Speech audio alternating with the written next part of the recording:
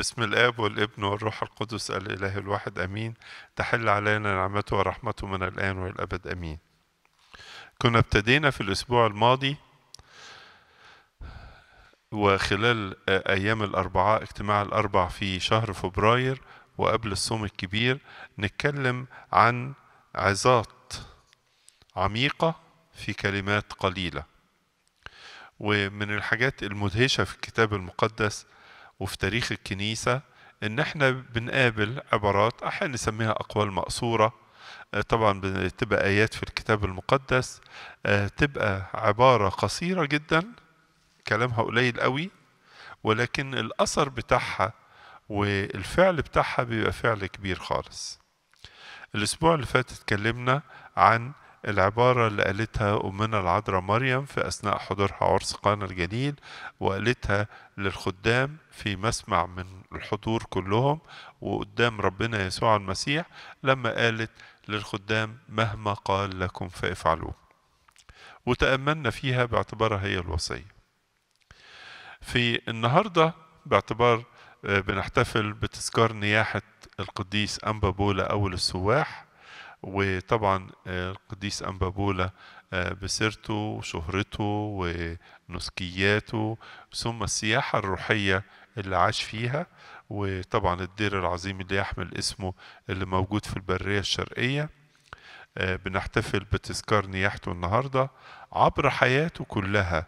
في هذه السياحة الروحية لم يسجل عنه التاريخ سوى هذه العبارة الغنية. من يهرب من الضيقة يهرب من الله. وهي دهيت اللي هتبقى مدار تأملنا النهاردة. بس في الأول أقرأ وإياك جزء من رسالة معلمنا بطرس الرسول الأولى في الإصحاح الأول. في عدد ثلاثة بيقول مبارك الله أبو ربنا يسوع المسيح الذي حسب رحمته الكثيرة ولدنا ثانية لرجاء حي. بقيامة يسوع المسيح من الأموات. لميراث لا يفنى ولا يتدنس ولا يضمحل. محفوظ في السماوات لأجلكم. أنتم الذين بقوة الله محروسون بإيمان لخلاص مستعد أن يستعلن لخلاص مستعد أن يعلن في الزمان الأخير. الذي به تبتهجون مع أنكم الآن إن كان يجب تحزنون يسيرا بتجارب متنوعة. لكي تكون تزكية إيمانكم وهي أثمن من الذهب الفاني مع أنه يمتحن بالنار توجد للمدح والكرامة والمجد عند استعلان يسوع المسيح.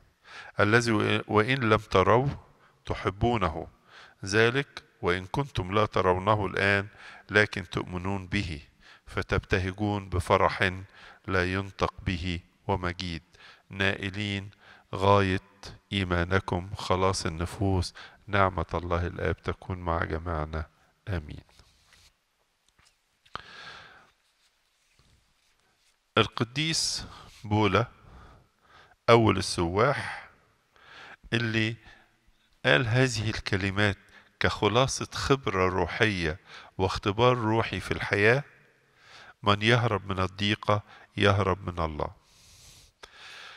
تعالوا الأول نعمل كده زي رحلة سريعة في نماذج كتابية تعرضت للضيقة ما تنسوش إن الأنبابولا كان عايش في البرية البرية الشرقية دي جبال زي دير أنبابولا الموجود حاليا وجبال وطبعا الكلام ده في القرون الأولى فغير النهارده بنلاقي عربية وبنلاقي طريق ما أسفلت بنقدر نوصل وبنلاقي إمكانيات واتصالات والحاجات زي كده.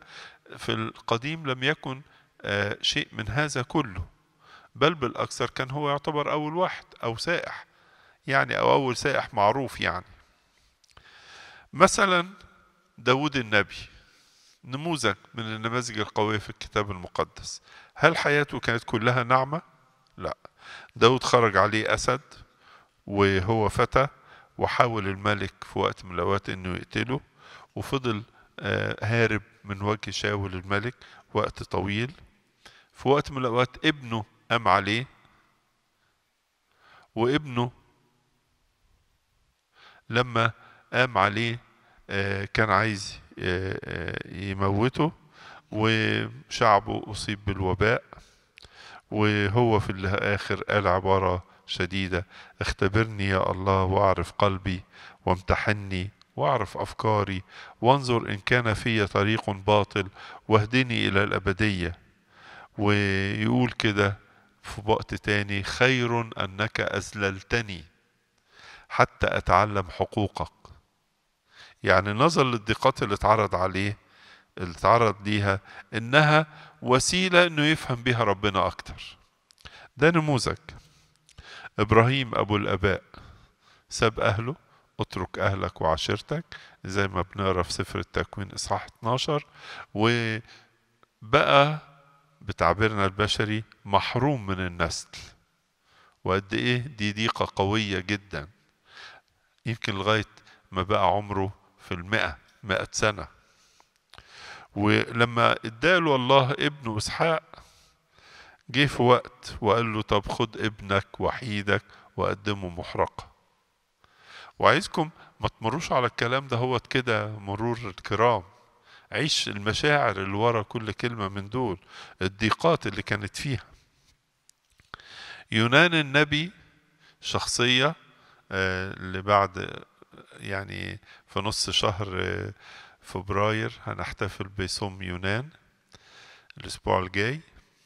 آه، نلاقي إن يونان يتعرض للضيقة الشديدة والبحر الهائج والسفينة اللي بتغرق والحوت اللي يبتلعه. كل دي ضيقات اتعرض ليها. يا ترى كان لها فايدة. آه، دانيال النبي شخص كلنا عارفين سيرته وعارفين بطولته الروحية وعارفين إزاي كان إنسان أمين أيضا طرح في جب الأسود والفتية التلات بالمثل. يوسف الصديق نموذج مماثل من ال- النماذج اللي تعرض لضيقات كثيرة وجرح في بيت أحبائه من إخواته واتباع واتسجن واتهم ظلما. ضيقات أحاطت بيه. أيوب الصديق حالة مماثلة. ولما تعرض لضيقات الرب أعطى الرب أخذ فليكن اسم الرب مباركا. إيه، بنلاقي إن نماذج كتيرة. بطرس الرسول اتحط في السجن.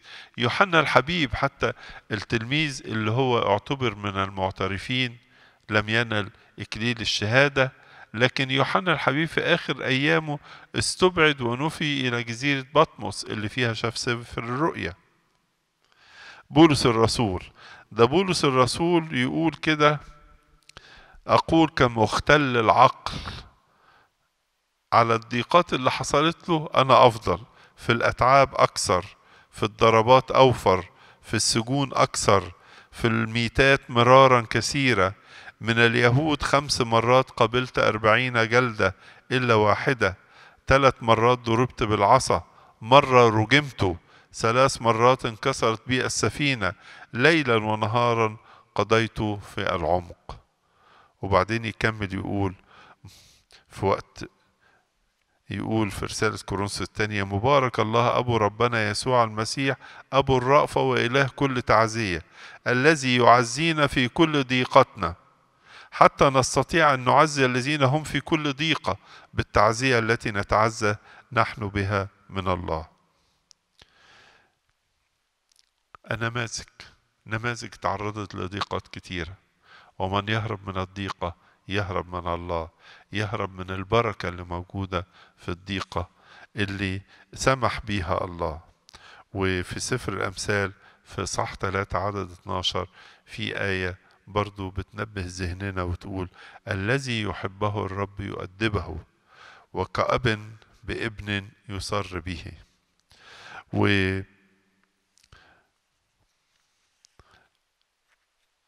في كل ضيقة بيتعرض لها الإنسان يمكن أنت تقولي دلوقتي هو الضيقة دي هستفيد بيها إيه؟ وليه ده ليه قديس أنبابولا قال من يهرب من الضيقة يهرب من الله وهنا يهرب يعني يتذمر يتذمر على الضيقة. أول حاجة عايزك تحطها كخيط رفيع أن الضيقات إن حدثت وإن سمح بها الله لها بركتها هنتكلم عليها. لكن لازم تكون أنت في نفس الوقت إنسان أمين. يعني ما يجيش واحد يضارب مثلا بأموال ولا تجارته ويخسر ويقول لي ربنا وقعني في الضيقة دي. أنت اللي صنعتها. أنت اللي صنعتها. تجارة معينة ما كنتش إنسان أمين فيها آه، الجشع أو الطمع آه، ملأ عقلك وقلبك كانت النتيجة في وقت من إنك خسرت. تقول لي أنا في ضيقة دلوقتي أو بيتي في ضيقة بس أنت الص... أنت اللي عملت الضيقة ده هي أنت اللي خلقتها أنت اللي أوجدتها. عايز أقول لك إيه اللي ممكن نلاقيه في الضيقة؟ اللي ممكن يتعرض لها الإنسان اللي ممكن الله يسمح بيها.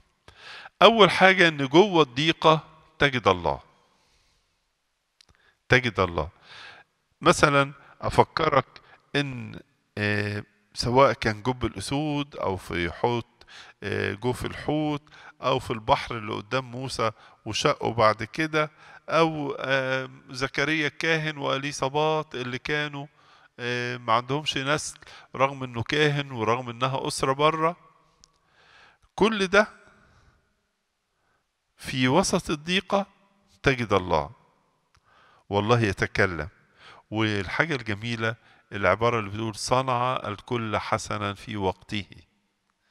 في ضيقة آه زكريا وأليصابات ولسانه بقى صامت ورحم أليصابات صار صامتا. وكأن السماء أيضا صارت صامتة لا تسمع الطلبات والصلوات. ولكن في الوقت المناسب أعطى الله يوحنا المعمدان أعظم مواليد النساء. صنع الكل حسنا في وقته. الله في الضيقة والضيقة لها فوائد هتبان بعد شوية نتكلم عليها. كمان في الضيقة لما بتنتهي وتجلب الضيقة فرحا للإنسان تجيب فرح. يعني قد إيه زكريا وأليصابات كانوا في حزن وفي ضيق؟ وشوف أليصابات تقول إيه؟ نزع عاري من بين الناس. يا ده أنت في ضيقة مر قوي.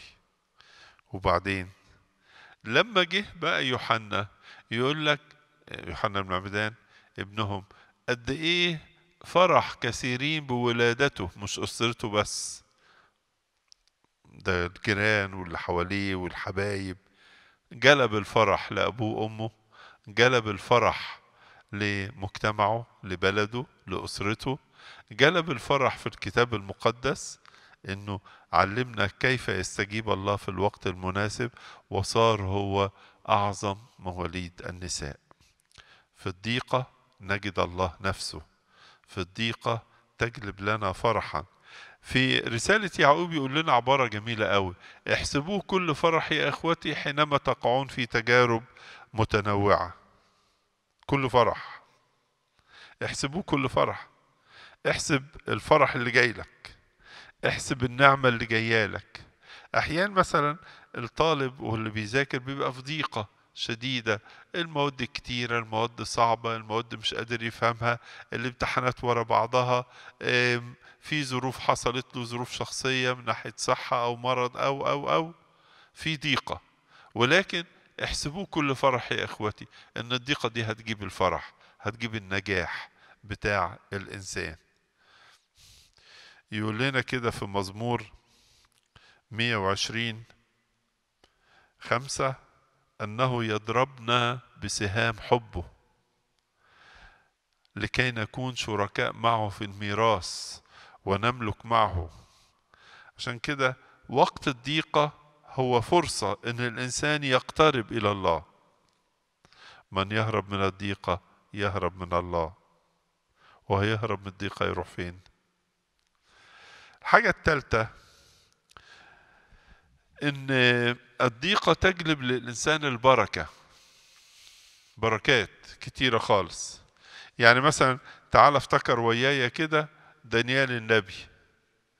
دانيال كان صحته كويسة لكن وضع إنه يأكل القطاني البقوليات. كويس؟ ورفض مائدة الملك. رفض إنه يأكل من مائدة الملك ويشرب من خمر هذه المائدة لأن كل هذه الذبائح وضع في قلبه ألا يتنجس من أطايب الملك ولا خمر مشروب.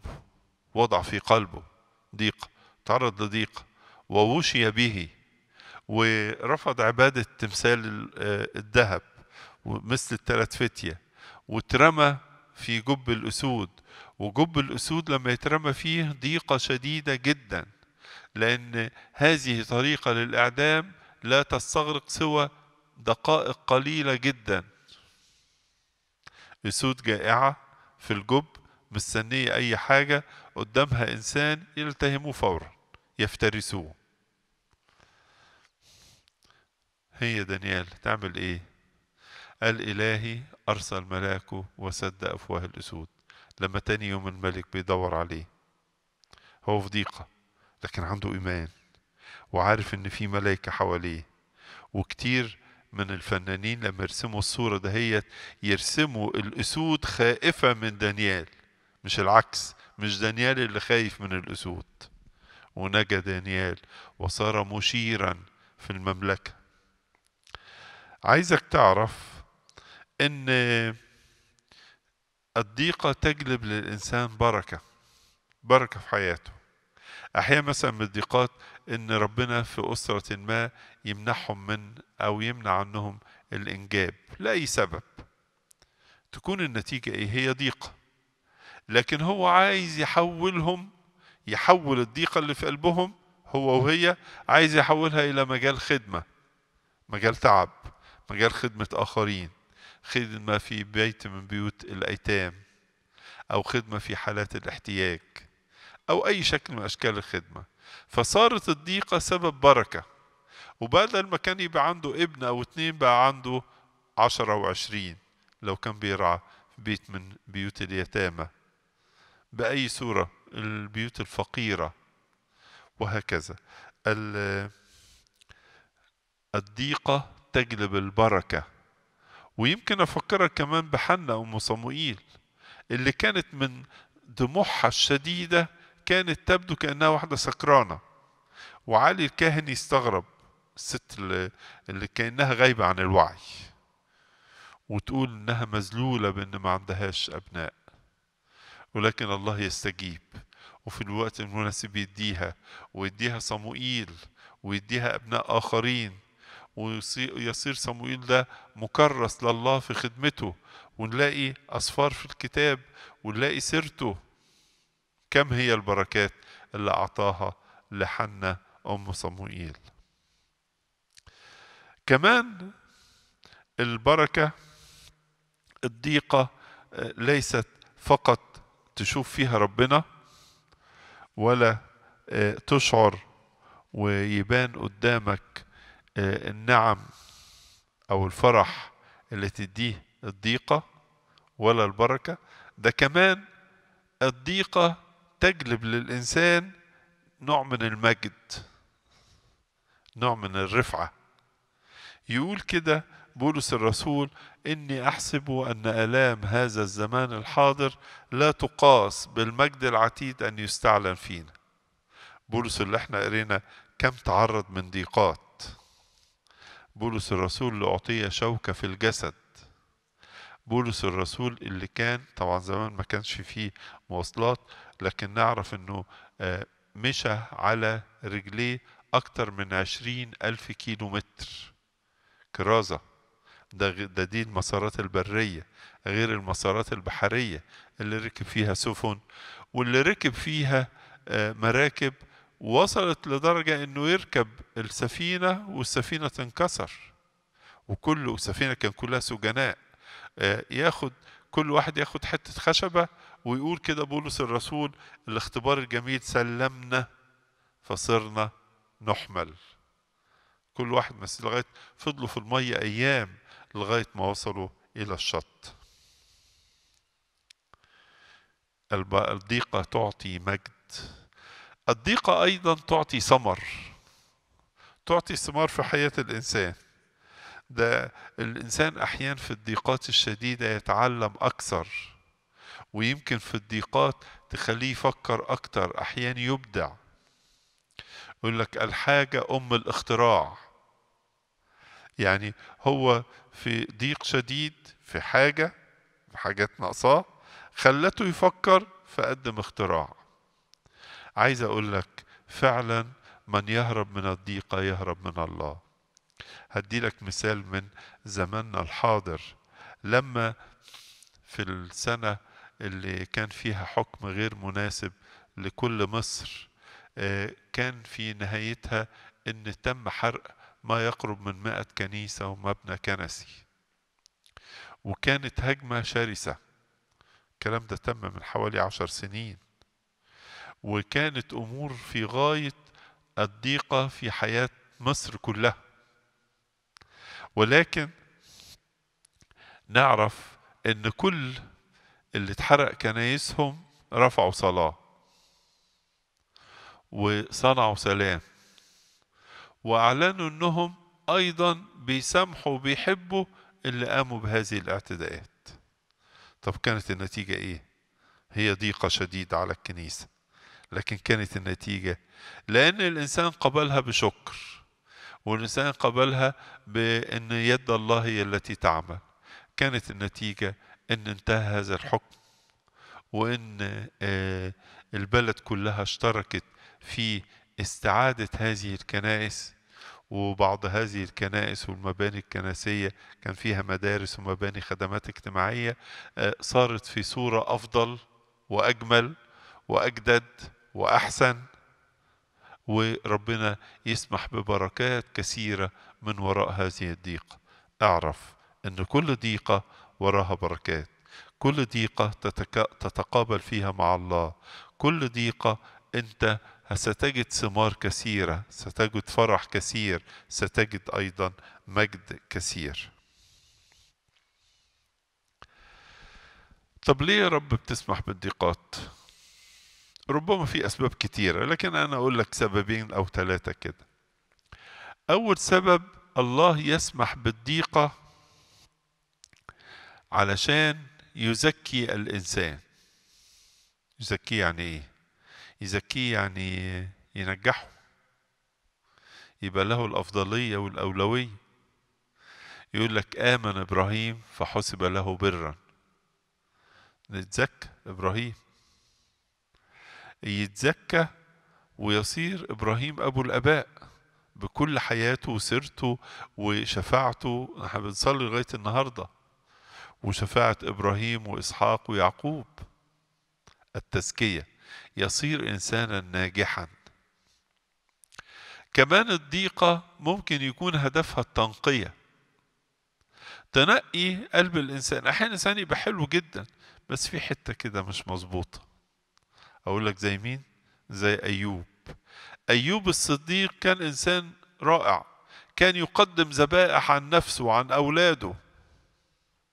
وكان إنسان حلو معروف كويس بس كان في حتة كده مش مظبوطة حتة إنه إيه؟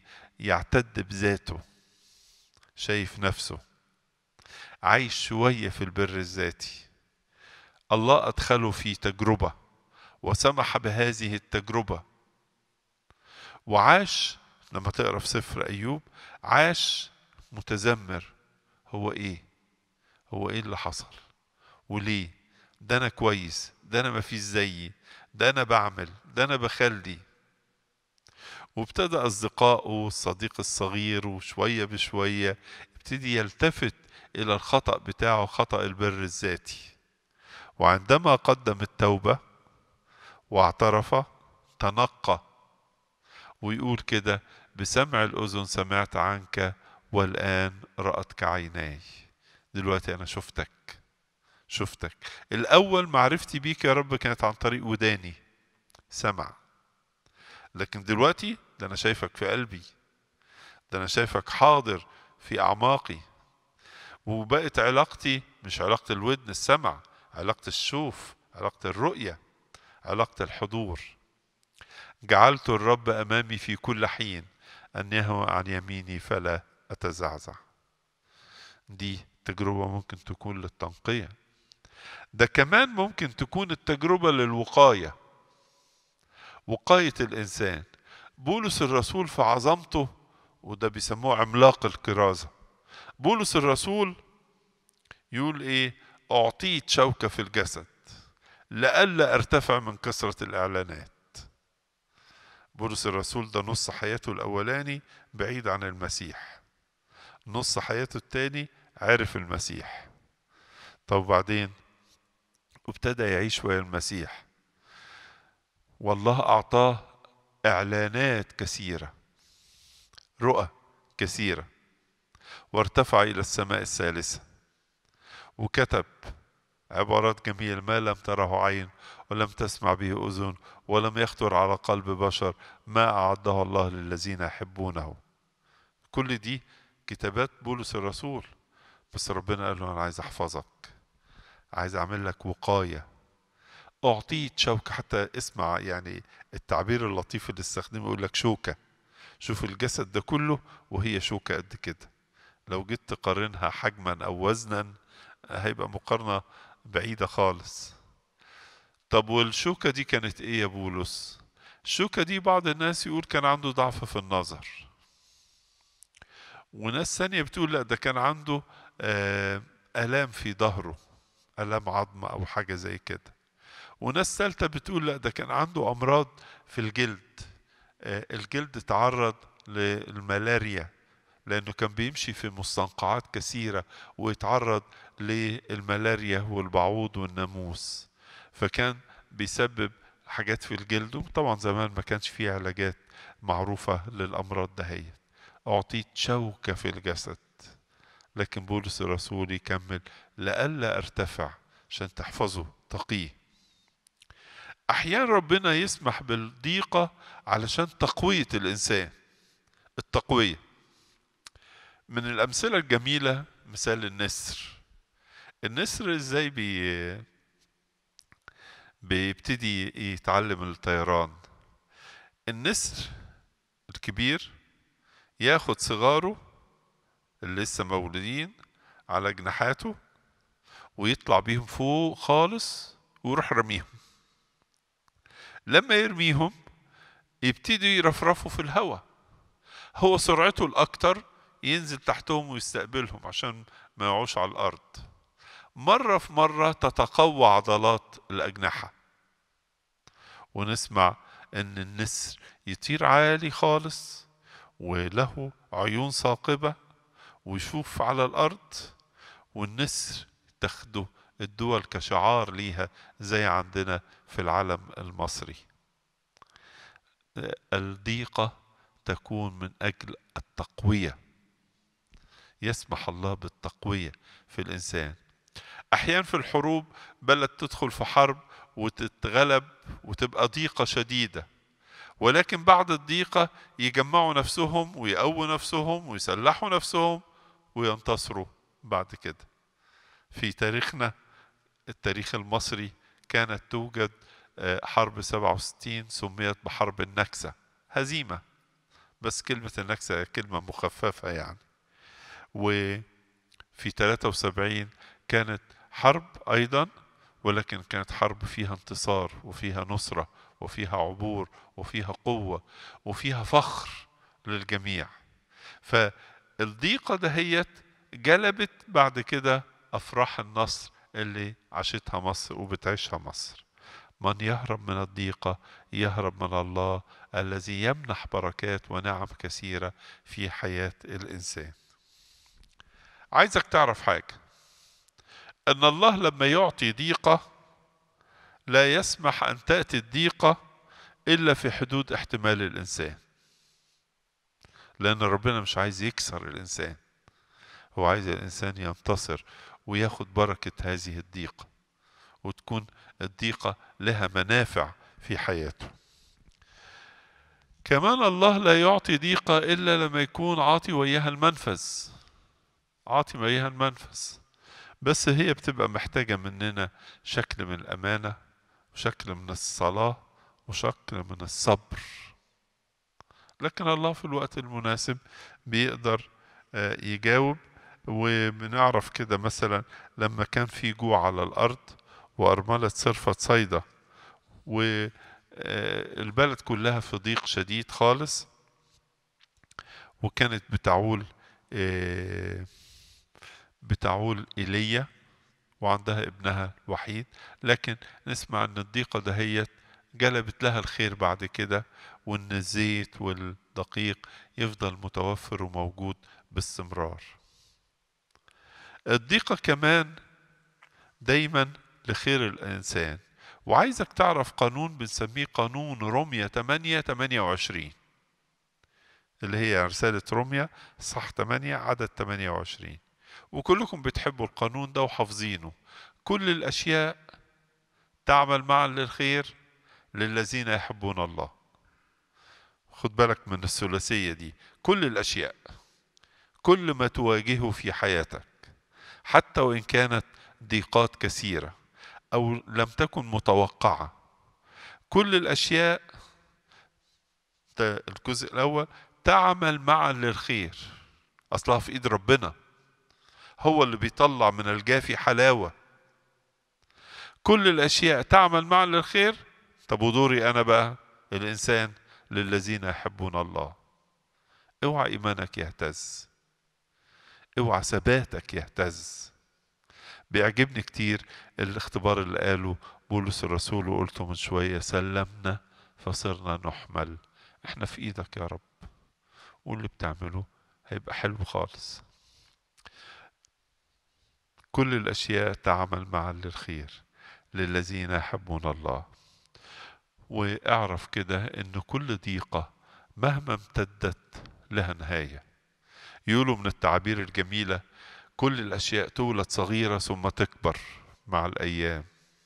إلا حاجة واحدة الضيقات تولد كبيرة ثم تصغر مع الأيام وتنتهي.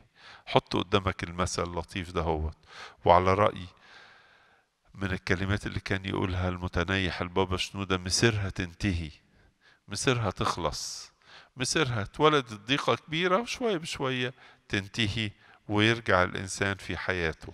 احفظ القانون ده كل الأشياء تعمل معا للخير للذين يحبون الله. في وقت الضيقة في وقت التجربة أعمل إيه؟ أقول لك تعمل إيه؟ إحنا اتفقنا إن من يهرب من الضيقة يهرب من الله. في الضيقة واحد أشكره عليه. الله سمح بيها وسمح بيها لخيرك. وسمح بيها علشان ضروري لها فايدة في حياتك في على امتداد العمر. ولها فايدة بصورة ما. لك أو لغيرك بأي شكل. من القصص الجميلة إن في أسرة جالهم ابن واحد وربنا سمح إن الابن ده يكون معاق. أو يعني زي ما التسمية الجديدة من ذوي الهمم. فالأم طبعا كأم بتحب ابنها بس محتاج لرعايتها ولخدمتها. فاعتبرت إن مجيء طفل معاق عندها إن دي رسالة من ربنا بيقول لها اخدمي كل الأطفال بالشكل ده فابتدت تعمل مكان كبير وابتدت تجمع فيه الناس اللي عندهم ظروف مماثلة وابتدت تعمل مناهج للتدريب تدريب خدام وخادمات وابتدت خدمتها تكبر وتتسع أكتر وأكتر. الكلام ده كله على أرض مصر. وشوية بشوية بقت معروفة في هذا المجال وبقى عندها خبرات كثيرة وابتدت تنقل التجربة والخبرة دهيت لأماكن تانية في مصر ولأماكن تانية خارج مصر. وجعلت من الضيقة أن الله سمح لها بابن معاق أنه يكون ده سبب بركة وسبب خدمة وسبب فرح ولما نقابلها ونتقابل وياها بمنتهى الفخر بتتكلم إن ربنا لما سمح بهذا الابن بهذه الظروف كانت رسالة وصوت ونداء وتكليف من الله إنها تبتدي تعمل الخدمات الواسعة ديت. وصارت ناجحة جدا. وعايز أقول لكم إنها ترشحت في وقت من الأوقات لجائزة نوبل على المجهود الكبير اللي اتعمل ده. أول حاجة أشكر الله على الضيقة. أشكر الله. يقول كده ملقين كل همكم عليه وهو يعتني بكم. أعرف إن في الضيقة تتقابل ويا ربنا ولما تتقابل وياه أشكره. وإن غاب عنك وبعد عنك روح التذمر هتلاقي حياتك تتقدم في سلام وفي هدوء. أشكره لكن كمان أطلب معونته. أطلب معونة الله إنه يكون واقف وياك. أنت مش هتعرف لوحدك تتعامل مع الضيقة. انت محتاج المعونة بتاعة الله انه يقف وياك ويساعدك ويسندك. والقصص كتيرة خالص في المجال ده هو طلب المعونة. بتحكي لنا قصة من القصص على إن فتاة كانت راجعة من الدراسة الجامعية بتاعتها وتأخرت بالليل شوية وركبت ميكروباص علشان ترجع البيت وهي راكبة الميكروباص. ابتدى الركاب ينزل واحد ورا التاني لغاية بقت خايفة قوي إنها تبقى لوحدها في الميكروباص مع السائق. وشوية بشوية ظابط وقف العربية وركب وياه وبعدين قال للسواق وصلها لغاية البيت الأول. وبقت هي قاعدة لأنها كانت قاعدة طول الوقت عمالة تنده القديسين وعمالة تطلب معونة ربنا وإنها ما تتعرضش لأي مكروه وفعلا وصلها لغاية البيت في سلام وابتدت تحكي الحكاية في في البيت لأسرتها. وبعد شوية فوجئوا إن السواق جاي لهم. ويقول لهم الشخص اللي كان ركب ويايا مرة واحدة ما لقيتوش اللي هو الظابط وإيه الحكاية؟ فقعدوا يحكوا له الحكاية. فابتدى قلبه يتحرك. وابتدى القلب اللي يتحرك ده هو عايز يعرف هذا الإيمان ويعرف البنت المسيحية دهيت والأسرة المسيحية إزاي جه في واحد في صورة ظابط وأنقذها وهو اعترف إنه كان ناوي يعمل شر وياها. وشوية بشوية مع المعرفة ومع السؤال كانت النتيجة إن قلبه انفتح وعرف شخص المسيح. صورة مهمة جدا. اطلب معونته وخليك شاطر. واطلب المعونة في الضيقة والله لن يتخيل لن يتخلى عنك أبدا. هيمد إيده. هيمد إيده إزاي؟ أنا مش عارف. الفتية التلات لما اتحطوا قدام أتون النار واتربطوا بالحبال ونبوخذ نصر بيتحداهم من هو الإله الذي ينقذكم من يدي؟ في حد يقدر ينقذكم من يدي؟ مفيش. قالوا له يوجد إلهنا بس هينقذنا إزاي؟ ما إحناش عارفين لكن هو هينقذنا. حمل الأتون سبعة أضعاف ويترموا في الأتون الحبال تنحل ويتمشوا في الأتون مثل ندى بارد ويتمشى معهم الرابع شبيه بابن الآلهة ويخرجوا من أتون النار زي الفل. اطلب المعونة اطلب المعونة بثقة وبإيمان وهتلاقي الله يعمل معك بقوة. من فضلك خلي دايما صلواتك مرفوعة. يبقى اشكره واطلب المعونة وصلي ليل ونهار زي ما كان يونان في بطن الحوت. هو عمال طبعا يونان لا كان شايف لا ليل ولا نهار لكن قعد الأيام يرفع صلوات. في ترنيمة بتقول الصلاة بتهد جبال الصلاة بتشيل أحمال الصلاة بتحول كل ألمنا ونبقى في راحة البال. يبقى الإنسان مرتاح البال. حط قدامك باستمرار إنك ترفع قلبك في صلوات مستمرة. أنا عايزك بس تاخد بالك إن في كل ضيقة نحن نقابلها بأمانة أمانة الإنسان نقابلها بإيمان وثقة نقابلها بصبر لأن الله له مواقيت وفي الوقت المناسب هيستجيب ونقابلها كمان بصلاة بنرفعها. يمكن أجمل آية أحب أحطها قدامك وإحنا في أي ضيقة بيتعرض لها الإنسان أستعير العبارة اللي قالها المسيح لبطرس الرسول يوم خميس العهد. لست تعلم الآن ما أنا فاعله ولكنك ستفهم فيما بعد. أنت مش عارف اللي إيه اللي أنا بعمله لكن بعد كده أنت هتفهم إيه اللي حصل والمعنى والبركة اللي ورا كل شيء. من يهرب من الضيقة يهرب من الله. كل سنة وأنتم طيبين. النهاردة عيد نياحة القديس أنبا بولا أول السواح.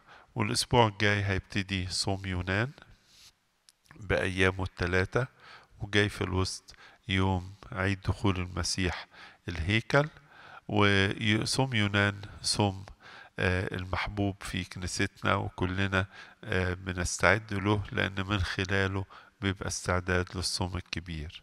يعطينا مسيحنا دائما أن نعيش في فرحة هذه الأيام المقدسة لإلهنا كل مجد وكرامة من الآن وإلى الأبد. آمين.